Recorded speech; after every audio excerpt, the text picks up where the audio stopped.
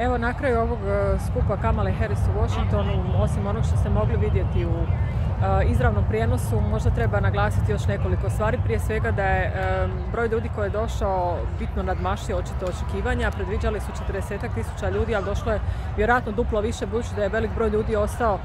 van i ostaje na okolnim ulicama i ostaje na travnjaku kod ovog spomenika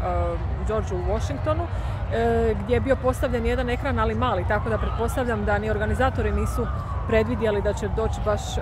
toliko, toliko ljudi. E, neki ljudi su naravno ostali razočarani jer nisu ušli unutra, nisu vidjeli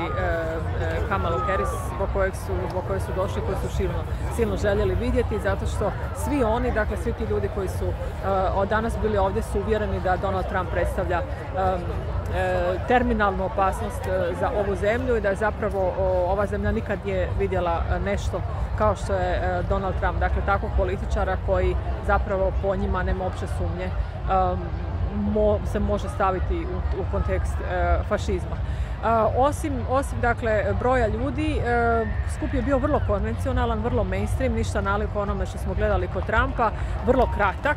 i sa puno optimizma, ali rekla bih sa manjkom one bombastične energije koju, koju sam, koja sam mogla vidjeti kod, na Trumpovim skupovima. Kamala Harris je bila dobra, poslala je svoje poruke koje sada u posljednje vrijeme E, često, često e, ponavlja da će Trump na, kad dođe u Bijelu kuću napraviti popis, e, popis neprijatelja, da će ona napraviti popis stvari koje treba prvo, prvo napraviti. Isto tako Kamala Harris je poslala poruku ujedinjenja, rekla je da je ona da će biti predsjednica svih Amerikanaca, ponovno bitno drugačije od onoga što smo čuli od Trumpa. I za kraj rekla bih da je možda jedna od najinteresantnijih stvari da je bilo jako, jako puno, pogotovo na ovom prostoru izvan, izvan ograde, naravno, jer unutra ništa niste mogli unositi, baš ništa, dakle nikakvu torbu, ništa.